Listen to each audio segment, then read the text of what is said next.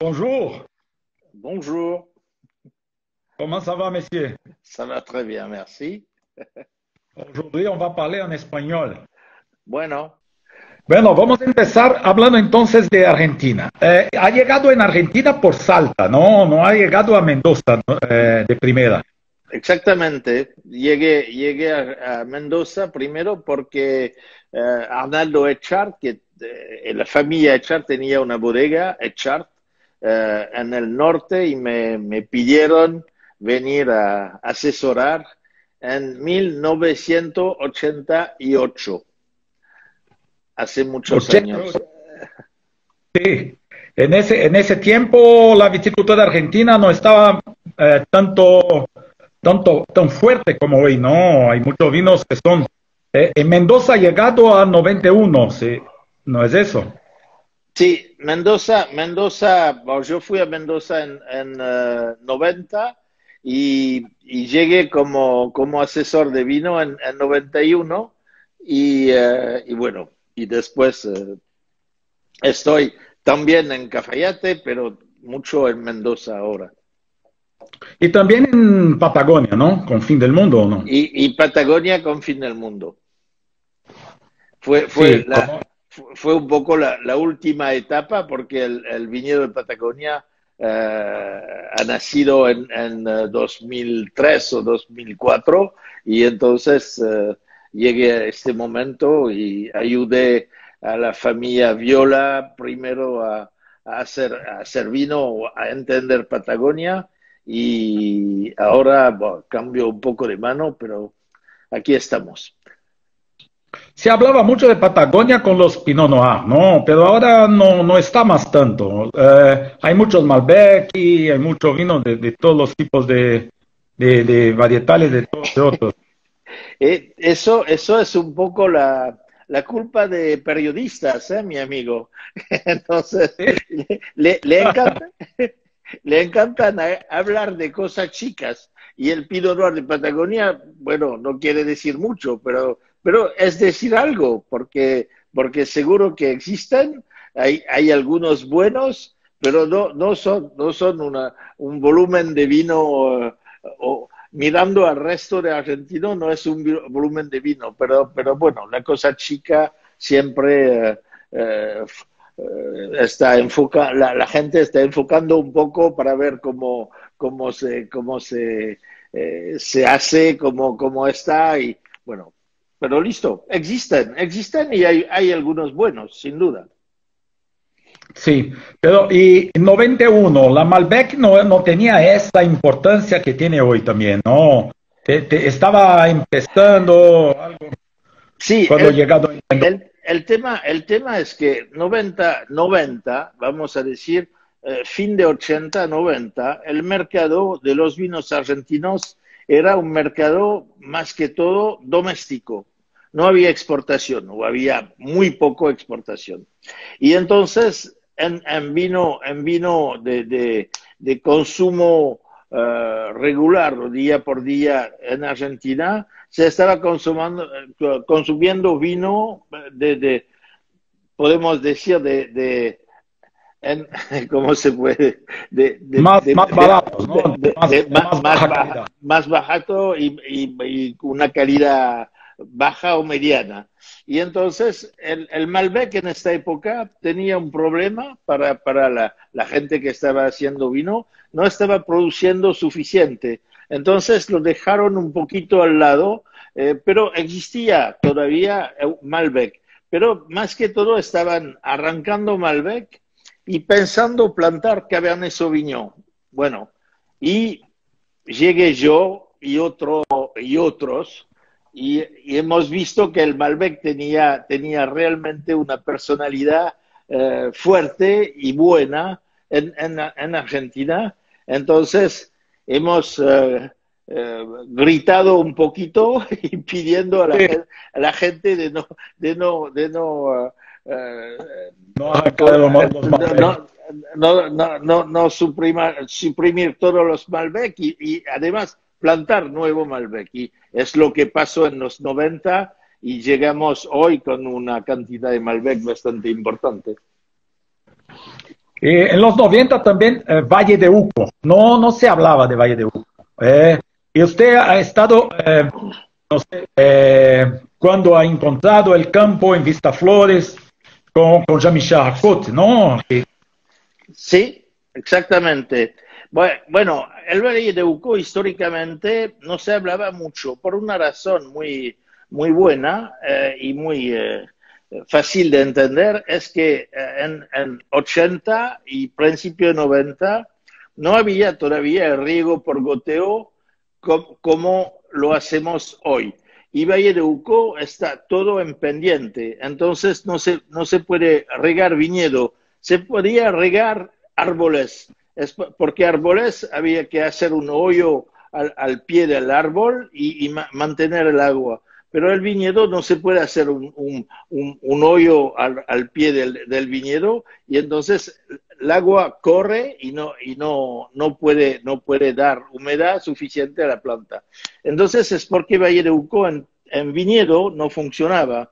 Pero nosotros cuando llegamos eh, en, en, el 95, 96 y nos interesamos un poco al, al Valle de Uco, hemos visto que eh, que podríamos eh, usar el, riego por goteo y, entonces es porque los suelos no parecieron buenos y, hemos invertido en, esos suelos para hacer eh, el proyecto de Cloro 7.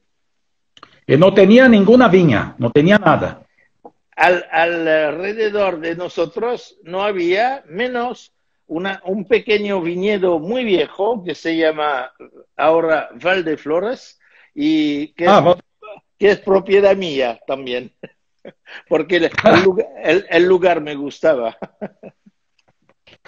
Cuando, cuando hizo ese documental en Argentina, hablé con Marcelo Pellerizzi de Monteviejo, que está en Clos de los Siete. Eh, pregunté de Michel Roland. Me ha dicho que era un genio con los blends, que te, intentaba cada año se acercar para aprender más de eso de los blends. ¿Por qué me dice de eso? es, es la, la, idea o el pensamiento de, Marcelo. no, yo no puedo. Yo no, no, yo diría que por supuesto que, que hacer blend es, mi, eh, es, es, mi especialidad, pero es mi especialidad porque, porque después de 50 años en este, en este uh, eh, en esta ocupación y haciendo blend, yo creo que más que todo es una experiencia, es como, como y, el entrenamiento es más fuerte que, que, todo, es como un jugador de tenis, de fútbol o de no sé qué, a un momento, si no hay entrenamiento, no hay, no hay posibilidad de, de, de jugar bien. Y en blend es igual, si no hay entrenamiento, no hay posibilidad de jugar bien y yo pasé mi vida a entrenarme en 22 países alrededor del mundo. Argentina es uno, pero en Francia, por supuesto, pero muchos otros países. Y yo creo que yo tengo un entrenamiento bastante bueno, entonces eh, ah, y, no es el fútbol, ¿eh? se, puede, se puede hacer, mismo un viejito como yo puede siempre hacer, hacer blend, no hay problema. No, no es viejito, no es viejito, ha viajado en estrada buena, está, está muy joven. Eh, eh, esto de trabajar en todo el mundo, Daisy da Costa dice aquí, felicitaciones por, por Castra Rubra, en Bulgaria. Ah, También, trabaja en todo el mundo. Sí, ve, Mira, es bastante simple. Mi vida es bastante simple. La gente me, llama para, hacer vino. Al principio, ¿qué hacemos? miramos un poco el lugar, miramos eh, qué tipo de viñedo quieren, qué tipo de vino quieren hacer y, a, este momento tenemos que hacer el mejor vino posible. Si, si la gente nos da la, posibilidad de hacer el mejor vino. Entonces, Castrarubra es un muy buen ejemplo porque Castrarubra salió de, de, cualquier lugar, no existía el lugar. Y se, se plantó viñedo, pero viñedo en forma moderna, podemos decir, y donde, donde hemos hecho vino muy interesante. Y todavía los vinos son muy buenos. El único problema es que no hay mercado porque no hay mercado nacional en Bulgaria, es muy, muy chico, y, la, y la exportación casi no existe porque el, el, el, el, drama de mi vida es que el gusto del vino no es que lo que supera al mercado. El mercado está mirando el, el origen y el precio. El resto no hay nadie para decir eso es un, es un buen negocio, eso es un, vale la pena realmente tomar este vino porque es un buen vino. Y es el caso de los vinos de, de Bulgaria, pero, pero el, mercado, el mercado está muy, muy apretado y muy cerrado. Ahora, ¿hay, ¿hay algún caso de un de una de alguien que te ha, llama, te ha llamado para hacer un vino y eh, ha pensado que no era posible hacer un buen vino y no, no ha recusado ese trabajo. Sí, sí, sí, por, su, por supuesto. Sabes que en, en, 50 años yo he visto casi todo. Y, y entonces, bueno, porque, porque hay dos cosas. Hay, hay uh, dentro la gente que quiere hacer vino, uh, bueno, hay, hay la gente que está familiarmente eh, en una zona haciendo vino, el, el, abuelo estaba haciendo vino, el padre estaba haciendo vino, el, el, hijo está haciendo vino. Bueno, segundo, hay los inversores. Inversores bueno, tienen plata eh, en los dedos y dicen, bueno, vamos, vamos a hacer un vino, porque eso es un placer personal, hacer un vino. Y, y, a este momento te, te piden dónde vamos para, para hacer una inversión uh, grande, chica, uh, muy cara, con, con, un precio razonable. Y entonces eso es mi, mi ocupación, es mi, mi, trabajo. Bueno, y el tercero, el tercero el, es el que tiene, que tiene corazón y, tiene, y, y el, tipo creció en, en, una, en una zona particular y se fue a otro país, la, más que todo se fue a otro país y un día vuelve con plata y dice, mira, yo nací aquí y me, me encantaría hacer un vino de, de la zona donde na, he nacido. Yo me, he visto eso, pero más que todo en, en, este caso, en este caso hay problema, porque varias, varias veces, porque yo he visto lo, los casos varias veces, el, el, el, el lugar no, no, corresponde para hacer un vino bueno, y, y, entonces estoy diciendo, mira, olvídate, no, no hay que hacer este proyecto, hay que, si quiere hacer claro. Podemos ir a 30 kilómetros o, o 20 kilómetros o, o, muy cerca, puede ser, pero, pero el lugar mismo no corresponde. Y sí, pasó, por supuesto. Y en Brasil ha trabajado por Miolo. ¿El lugar sí. correspondía para hacer un buen vino? Sin duda. Cuando sí. una, vez, una vez hablamos muy rápido aquí en São Paulo y eh, yo te pregunté sobre las posibilidades aquí en Brasil y me, ha dicho que la Merlot brasileña era muy buena. ¿Sigue pensando eso? Sí, todavía, bueno, no, no voy más a Brasil desde ahora, eh, no sé, siete, ocho años, entonces, y no, no, no he probado mucho los vinos desde, desde este tiempo, pero, pero la, la, la Valle de los Viñedos, sin duda, es, una, es un lugar que corresponde bien a, a, la, viña para Merlot y, hacer vino con Merlot sin, sin problema. El, el, problema que tenía el lugar era que todo, todos los viñedos eran en, en paral, en, en, en, entonces ya no había suficientes, suficiente sol, no había suficiente aire, entonces el Merlot no, no tenía una, una, un estado sanitario muy bueno y es, era difícil de cosechar con buena maduridad y, y, con buena calidad de uva. Pero Miolo yo creo que fue uno de los primeros. En 2004, 2005 cambió eso, ha hecho uh, viñedo en Espaldero, en la zona de, en la zona de, de Valle de los Viñedos, y, y, y lo, los Merlot que, hicimos en esta época salieron muy bien y, yo pienso que no hay, no hay razón para no salir bien uh, todavía. Sí, siguen buenos. Ahora estoy aquí con Close de los 7, 2017. Eh, volviendo un poco a la historia de los, de los blends.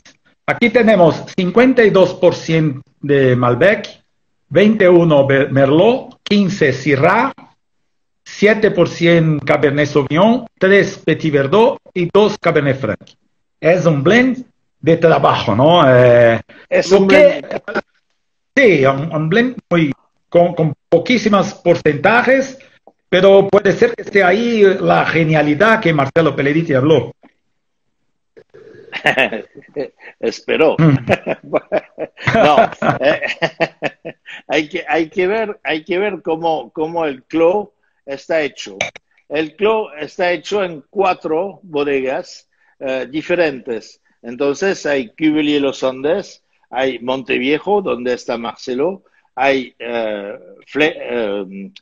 Diamantes, la, Diamantes y Mariflor, mi, mi bodega propia. Entonces, el, corte final está armado con cuatro cortes viniendo de, cada bodega. Y, el, pequeño porcentaje de vez en cuando viene que una bodega, bodega con la mía, por ejemplo, Mariflor, el corte básico es el que tiene más de, de Franc porque no, no había, ahora hay un poquito entrando en el juego, pero en, una época no había tanto Cabernet Franc. El único que tenía Cabernet Franc era mi bodega, la, bodega Mariflor. Entonces, puede ser que en el corte de Mariflor había un 15% de Cabernet Franc, pero al final es un 4%, un 5%, porque no, no, viene, no viene muy, muy fuerte. Entonces, eh, todo eso es igual. Entonces, son, cuatro vinos, Mariflor, un corte, eh, un corte, eh, Peleriti, eh, Monteviejo, un corte, y, y Cuvelier, un corte. Y, los de los cuatro cortes, mezclamos todo y es el Clo de los siete. Y siempre la Malbec, siempre mayor parte de Malbec. Sí, eso, eso es una, es una decisión que, habíamos tomado al principio de, hacer un corte con más o menos 50% de Malbec. Y el resto, a ver, la, la, decisión, la decisión mía. Por ejemplo, eh, para entendernos un poco esa cabeza de, de, blends, eh, lo que este Merlot aporta a un vino de Malbec, que la Malbec no tiene y la Merlot tiene.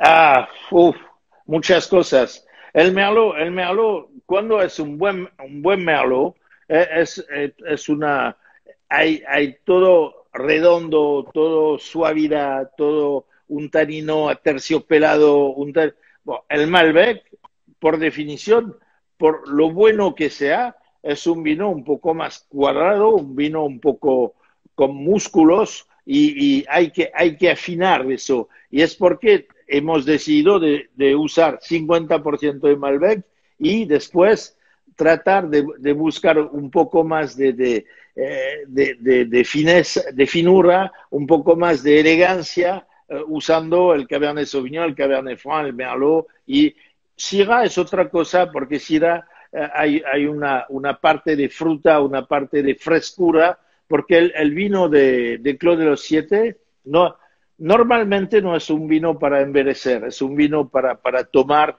eh, rápido. Ahora tomamos el 17 y, y yo, yo, pienso que a, a, la hora donde charlamos, el 18 está en el mercado. Entonces, son vinos con, un, movimiento en el mercado bastante rápido. Entonces, Syrah está dando dando la, frescura, la, eh, la, fruta, y es porque hemos, hemos decidido de poner un, poco, un poquito de. Ese, ese, vino no es un vino, es un vino con una buena relación de precio-calidad. Es un vino que cuesta unos 120 reales aquí en Brasil. Es, es, un vino de muy, muy buen precio. Pero aún así es un vino clásico, ¿no? Es un vino que siempre que hay un proyecto francés, eh, esos vinos tienen un tanino mucho más, es un vino potente pero delicado. Eh, ¿Eso es un savoir-faire francés o, es algo es algo de, un trabajo en la bodega.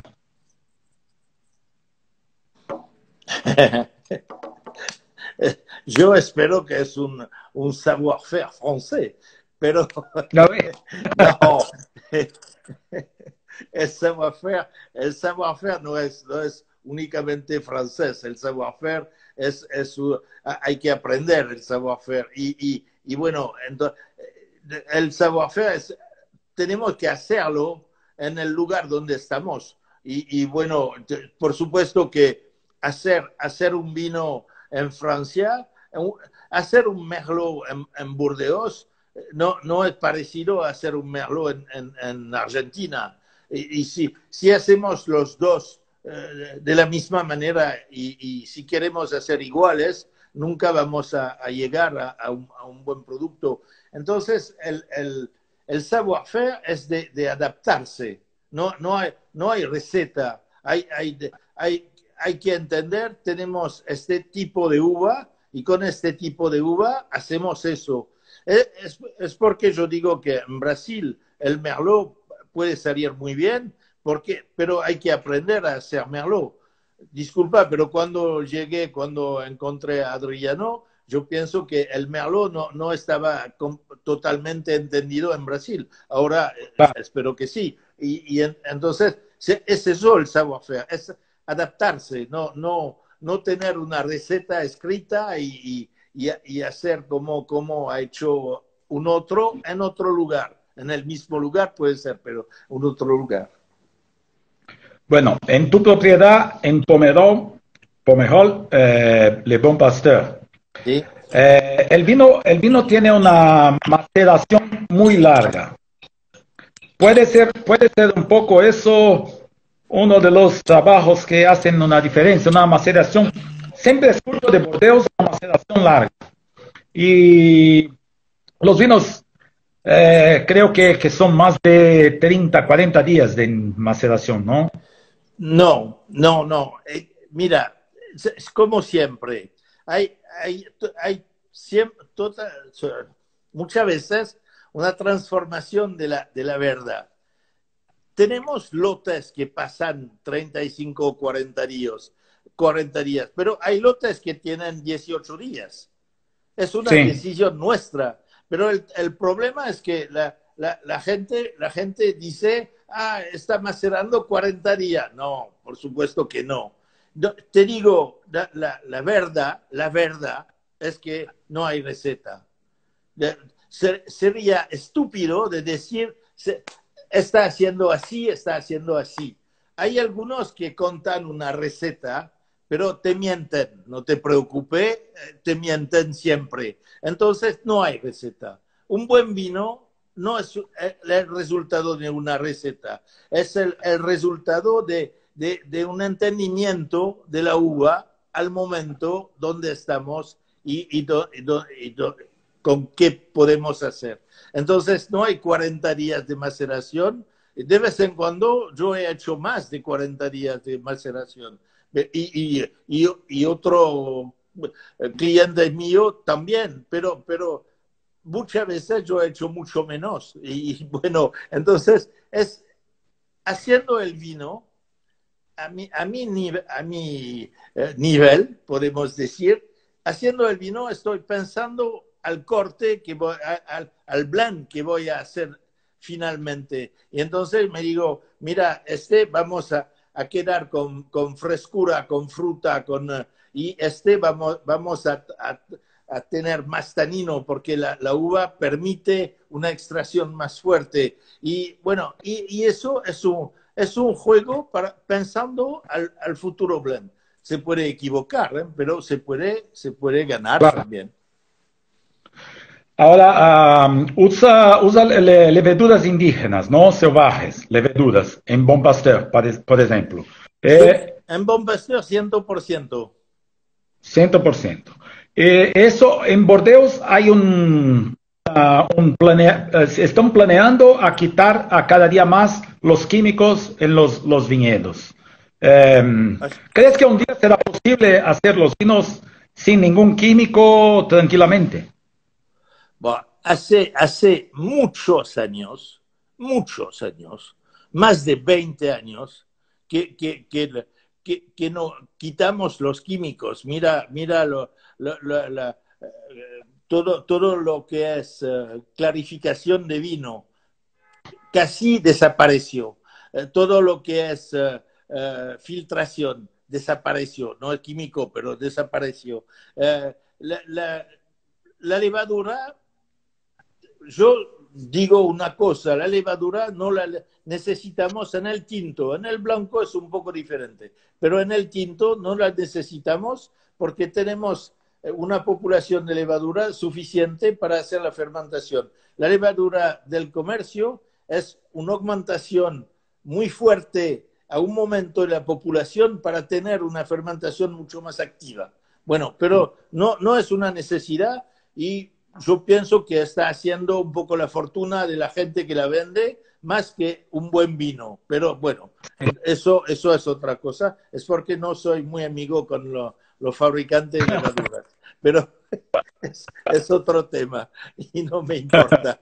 Pero yo siempre trato de decir lo que estoy haciendo y por qué. Porque no, no sé, eh, mira, eh, Marie-Flore tenemos... Eh, hacemos eh, más de eh, 3.000 hectolitros de vinos y no hay una levadura eh, de, del exterior. Todo, y estamos, no estamos en Pomol, estamos en Argentina, pero es así, no, no. Y puede, puede ir a charlar con Rodolfo, el enólogo, y el enólogo te va a decir que él no dormía muy bien al principio y ahora, después de 10 o 11 años de vinificación, está muy tranquilo y, y, sabe que sí, sí hay un tanque que, que se para de fermentar, no es porque no había levadura, es porque es su culpa es la culpa suya porque no ha hecho el trabajo como tiene que, eh, que, que, ser hecho. ¿Listo?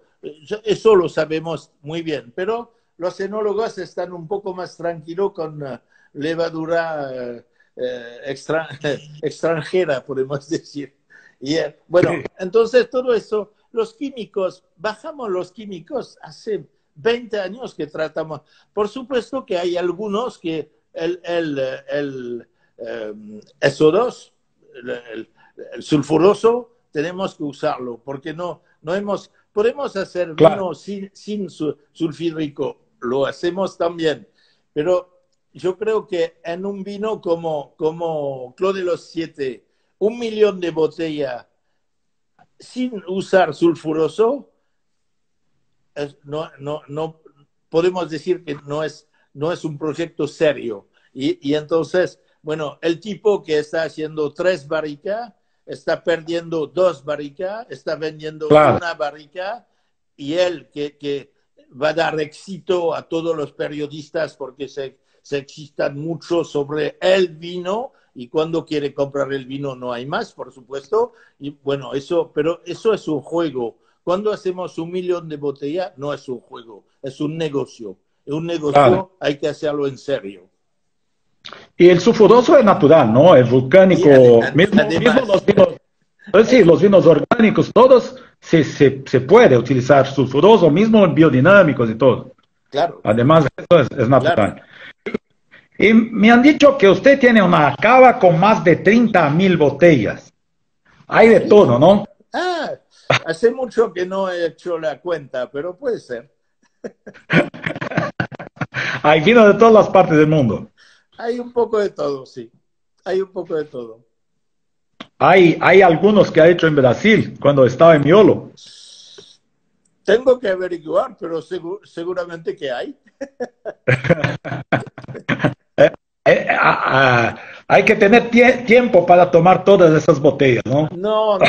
sabe que eso, eso es una, es una, como siempre, cada colección que, que cada uno tiene, no es para tomar todo, por supuesto, no voy a tomar todo, yo sé que no voy, por, por dos razones, porque hay, hay muy buenos vinos en mi cava, hay vinos que no valen nada ahora, porque hay, hay vinos que, que eh, hubieran eh, sido mejor tomarlo hace 20 años que ahora, y, y bueno, pero es así, es un, es un placer de caminar y de de ver el vino que hay. Y de vez en cuando me digo, oh, mira este vino que soy estúpido, ¿por qué no lo tomé antes? Bueno, pero listo, es así.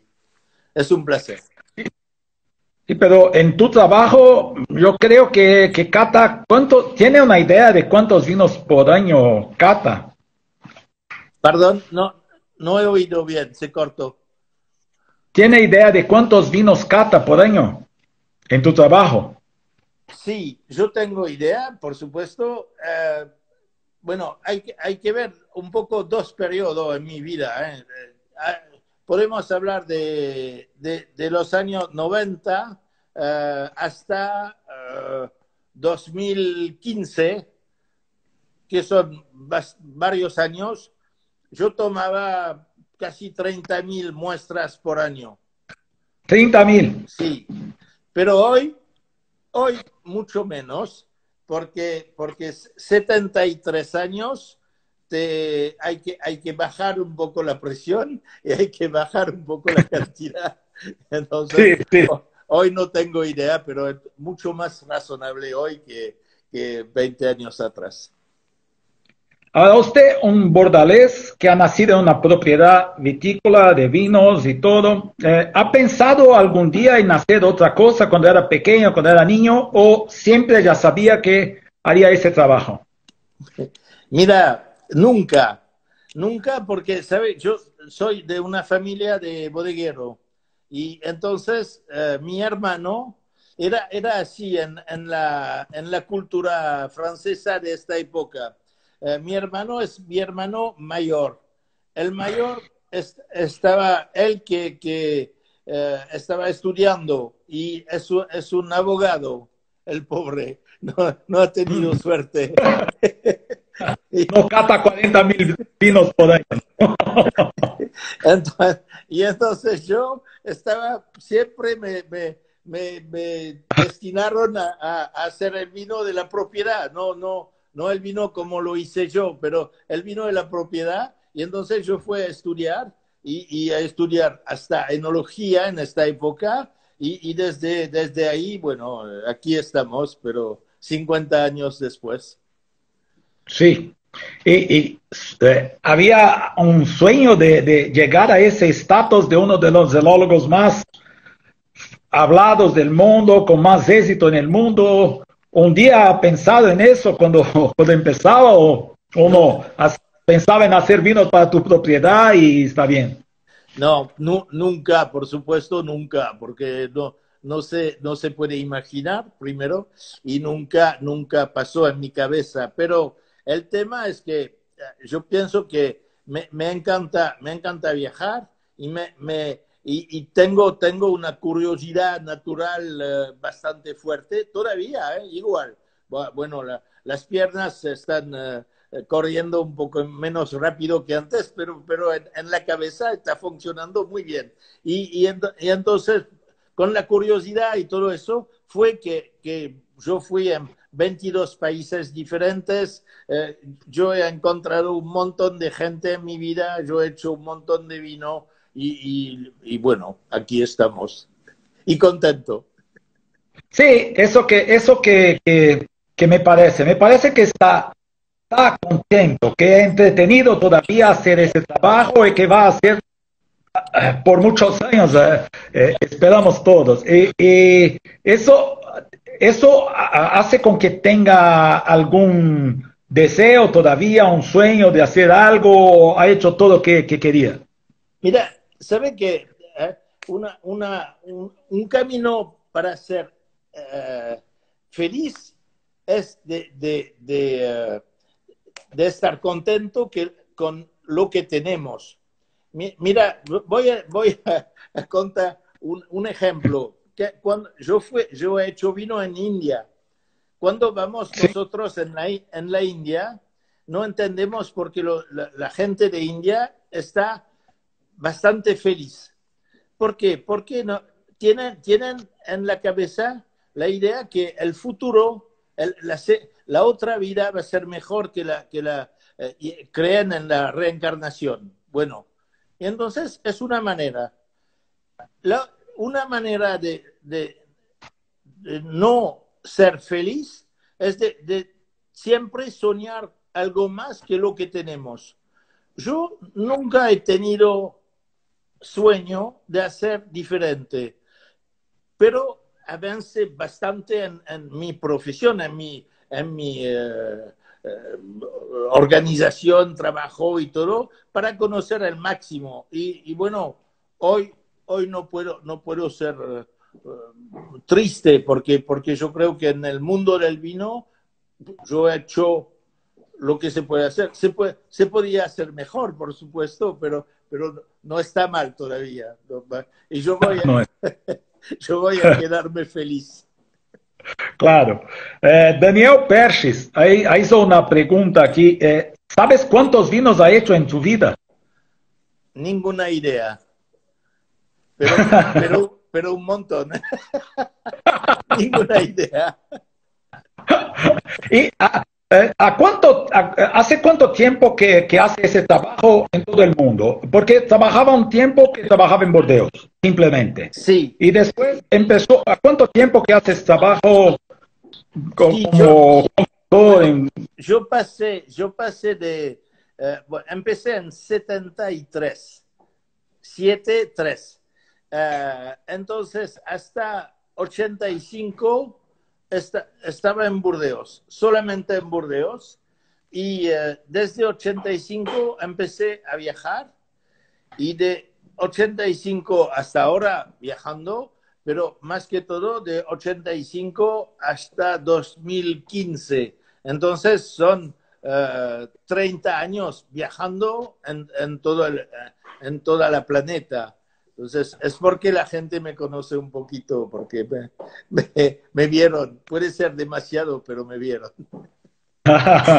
sí, un poco, un poco de modestia, ¿no? Ahora, ahora, ahora también eh, pediría que no, tuviera tanta modestia y me dijera que eh, piensa que ha cambiado vinos eh, de muchos países con tu, con tu experiencia colaboración, mismo en Argentina, porque llegó, Malbec no era la, la cepa principal todavía, Valle de Uco no era conocido. Piensa que cambió el vino en muchos países. Va. Yo puedo decir que sí, eh, pero hay, hay que ver una cosa, ¿sabe que hay un dicho que dice estar al, al, en el buen lugar al buen momento? Y yo creo que yo estuve, no, no estaba solo, por supuesto, había otros enólogos, no había solamente Michel Roland, pero yo he tenido la suerte de estar al, en el buen lugar al buen momento. Y, y, y bueno, así no, no digo que es fácil, pero había una, había una oportunidad para hacer el tipo de, de, trabajo y de, carrera que yo, yo he hecho y bueno, lo, lo hice y soy muy contento de, de haber hecho, pero es, es, así. Yo pienso que hoy me parece más complicado porque hay menos por hacer, hay muchas cosas que, que están eh, conocidas y hoy día me parece, hay que, hay que inventar otra cosa hoy. Pero cuando, cuando llegué eh, yo en, en, en los 80, había mucho por hacer en el tema de calidad, de calidad misma, de, de mejorar la calidad, porque el vino no estaba de, de, de, suficiente buen nivel para, para, para tener eh, una historia futura y un mercado muy fuerte. Entonces, ayude, sin duda ayude. Yo estaba al, momento, al, al, mejor momento. Claro. Uh, tiene una pregunta ahí de Kelly Bergamo. Si, algo, uh, si hay alguna región que eh, eh, te gustaría hacer un vino y no, no trabajó. Y una región donde yo no fui. No fui, no, no, no ha ido y, y te gustaría ir. Me gustaría ir. Es una buena pregunta. Eh, no voy a decir, puede ser, porque mañana todos van a comprar en el lugar. Sí, verdad. No, seguro que, ah, mira, yo voy a, decir un poco diferente, porque no es fácil de, decir eh, un lugar. No tengo mucho lugar para, para ir y, y, hacer, hacer algo, pero cada vez que hay un proyecto, hacer, hacer el vino como lo estoy haciendo yo es, muy, es bastante simple. Eh, ir a un, a un lugar donde no hay vino, eh, no hay, pero hay la posibilidad de hacer vino, ¿eh? pero no hay vino, no hay, no, no, hay, no hay grandes posibilidades y, desarrollar un proyecto, hacer un vino y además hacer un buen vino. Eso, eso es lo que me gusta hacer, porque, porque ¿sabe? Es como esquiar. Una persona que va a esquiar, cuando está sobre la pista tranquila, a un momento está, un poco aburrido. Y yo, yo, digo en forma de broma, ¿eh? hacer vino en Burdeos es un poco aburrido. Y, y entonces hay, hay, que buscar otro lugar donde hay, donde hay un poco más de rock and roll. Y, y, bueno, entonces es eso que me, que me encanta. Sabe que en Argentina hay, todavía lugares fantásticos para hacer vino. Yo, yo he visto eh, antes, esperando la, la charla, eh, hay, hay, un vino que salió de Uspallata. Uspallata es un, es un lugar entre, entre Valle de Uco eh, y, y Chile, pero es alto, es un lugar, a mí me encanta el lugar, el clima está mm, más o menos, pero, pero muy suelos muy interesantes y desarrollaron finalmente. A un momento yo quería hacer el proyecto de Club de los Siete allá. Gracias a Dios no lo hice porque, porque es demasiado complicado de ruta, de clima, de todo. Se puede hacer algo chico, pero no grande. Entonces, pero a mí me gusta hacer, eh, yo he hecho vino en India cuando llegué a la India, yo he dicho al, al, dueño, he dicho, mira, no hay suelo, no hay clima, no hay gente, no hay cultura. ¿Qué quiere hacer vino en, en, la India? Y el tipo me dijo, no te preocupes, organizamos todo, pero quiero hacer vino. Y por fin hicimos vino. Pasamos casi 10 años buscando las la, la, cosas para, para hacer vino. Hicimos vino. Y vino bueno, no grande vino, por supuesto, pero muy bueno vino. Así es. En India imagino que la humedad sea el gran problema, que es un problema aquí en Brasil. Pero ¿ha escuchado hablar de un sistema de cosecha en invierno aquí en Brasil? En otras regiones, no en el sur de Brasil. En otras regiones se hace una cosecha en invierno y la toda maturación en invierno cuando es seco, mucho sol. ¿Ha escuchado eso? Sí, Sí, sí, por supuesto. En, en la India, es como, como al norte de Brasil, no hay, no hay, no hay eh, descanso vegetativo. La viña no, nunca para. Entonces, entonces está, está siempre andando. Pero, y, y Miolo, no sé si lo tiene todavía, pero tenía un proyecto en el norte de Brasil donde, donde, todavía. Sí, hay, todavía, pero, pero, ese sistema que he dicho, hay un descanso vegetativo. Se, podan toda la, planta y después le despierta. Sí. Pero muy poco descanso, porque cuando, cuando cosechan, dejan tres semanas, podan, tres semanas después vuelve, vuelve, vuelve a crecer. Y, y, y entonces el, el, el, viñedo está, está siempre andando y, hay, producción de uva eh, casi siempre.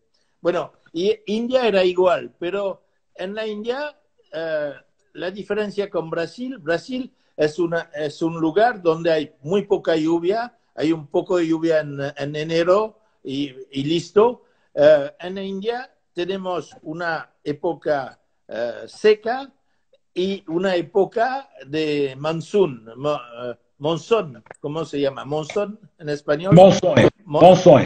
Y, y, y, entonces la, la época de, de monzón no, no, se, no se podía hacer el, el viñedo en esta. El, el viñedo estaba creciendo, pero teníamos dos podas y, y, una sola, una sola eh, producción. Pero era divertido. Es divertido. Eh, hay dos, dos, preguntas muy difíciles aquí. eh, de Chimiski y Fabián Couto. Eh, vinos favoritos, vinos preferidos que ha hecho usted. No, no puede decirle Bon Pasteur. E, eso soy yo que digo. No puede decir Bon Pasteur. Tres vinos que más eh, le gustó de hacer. Bueno, yo pienso que en mi vida eh, participé vinos eh, muy realmente que son hoy dos vinos muy importante en el, en el mundo del vino. Es un, merlot de, italiano que se llama Maceto. Y eh, bueno, participé al, desarrollo del, del, proyecto. Y, y, el otro es, es un vino de, de California eh, que se llama Arlen Estate. Eh, y entré, entré en los dos, Maceto y Arlen Estate, en 1988. Y entonces, bueno, son dos vinos que, que son vinos muy importantes en el mercado del vino hoy. Donde, donde empecé a trabajar con ellos, hay mucho chato muy bueno, hay mucho vino muy bueno, pero, pero los vinos empezaron antes y bueno, no participé realmente al desarrollo de, de estos vinos. Y ¿Cuánto te importa eh, los puntajes de los críticos? Cada día menos, eh, porque, porque el tema, eh, bueno, hemos conocido dos, dos épocas muy fuertes en, en, este sentido. La primera época fue un, un, americano que se llamaba, que se llama todavía, pero no, no está escribiendo, Robert Parker, y Robert Parker era totalmente hegemónico en el mundo y, entonces todo el mundo estaba mirando el puntaje de Robert Parker. Bueno, era, era, puede ser un poco demasiado, no voy a criticar o no voy a analizar. Y después hay, no sé, eh, eh, siete, ocho, diez eh, periodistas importantes en el mundo y que, están dando puntajes. El tema es que entre uno y el otro podemos encontrar, no sé, siete, ocho puntos de, diferencia. Entonces, ¿cuál tiene razón? ¿Cuál, ¿Cuál, es el mejor? Entonces, todos están catando eh, con, con el gusto de ellos propio. Y eso puede servir. Si, si, a alguien le gusta seguir uno particularmente porque tiene el mismo gusto que él, listo. Pero, ah, pero el, el, otro va, va, a dar eh, ocho puntos menos a un vino que te va a gustar. Entonces es un poco complicado. Yo pienso que ahora en el mercado del vino tendríamos nosotros que, que aprovechar el vino para nosotros. El buen vino es el vino que te gusta, no es el vino que gusta a cual o, o, fulano, no sé quién, eh, pero el vino que te gusta es el buen vino. Eso es importante. Y, me gustaría que la gente dice, pruebe eso, no me gusta, no me gusta, listo, eh, es así, porque no, todos los vinos no pueden gustar a todos. Y porque hay un poco de especulación, hay un poco de snobismo, hay un poco de sí, hay un poco de la. Y entonces todos los vinos no pueden, no pueden eh, estar bueno para todos. Menos, menos el Clo de los Siete, pero... Clo de los Siete. Ya que hablamos de Clo de los Siete, una última pregunta. Los Siete tal vez sea el proyecto fuera de Francia que más le gusta. No sé. Hablas español como un argentino. Por supuesto. Eh, Aprendí en Argentina. ¿eh? Claro. eh, Club de los Siete es una, es una pasión especial, algo que te apasionó eso en Argentina, este tejuar mendocino, tan distinto de Bordeaux, es algo que te apasionó. Por supuesto, por supuesto, al, al principio era un proyecto no, no era hecho para hacer un proyecto tan grande, pero, pero bueno, ha sido un proyecto enorme. Por fin mirando, mirando un poco atrás, eh, es, era un, proyecto un poco loco o totalmente loco, pero el bueno es que funcionó el proyecto. Y entonces, bueno, claro. ahora, ahora yo pienso que todo el mundo está contento del, del proyecto del club. Pero fue, fue algo que me, que me tomó uh, mucha energía, porque, porque es, es, un, es algo complicado, fue, fue algo complicado. No se planta 600 hectáreas de viña, uh, 14 pozos, 5 bodegas, 5 uh, enólogos, 7 inversores es, todo eso son cosas que hay que manejar. Y bueno, claro. lo manejamos, pero me, me tomó bastante energía durante 20 años. y resultó bien. Y resultó bien. bueno, muchísimas gracias, Michelle. Eh, ha sido un honor hablar con usted, con ese vino en la copa. Un placer. Y espero un día personalmente con, con la cámara hablar con usted un poco mejor. ¿Quién sabe? Cuando quiere. ¿Cuándo, ¿Cuándo vamos a, a viajar de nuevo? Porque hay que viajar por eso. Sí, es verdad. Bueno, muchísimas gracias. Un placer. Gracias y un placer. Hasta luego. Chao. Hasta luego. Chao.